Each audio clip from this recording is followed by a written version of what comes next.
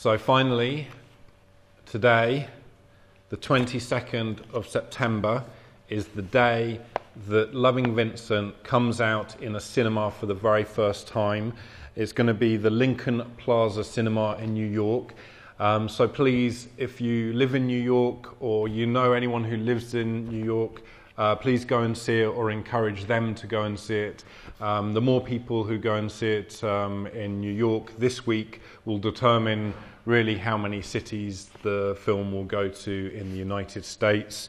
Um, we do know that uh, it will be coming out in uh, Los Angeles on the 29th of September, and then from the uh, 5th of October, it will be coming out in Savannah, San Francisco, Berkeley, uh, Encino, Los Angeles, Pasadena, Los Angeles, uh, Orange County, Santa Barbara, Orlando, Portland, Philadelphia, Atlanta, San Juan, Chicago, San Diego, DC, Dallas, Santa Cruz, Baltimore, Seattle, Amherst, Tucson, sorry if I pronounced that wrong, Austin, Palm Springs, Santa Rosa, Denver, Phoenix, Detroit, Cleveland, New Orleans, Minneapolis, uh, Fayetteville, Albany, Columbus, Boise, Monterey, Kansas City, St. Louis,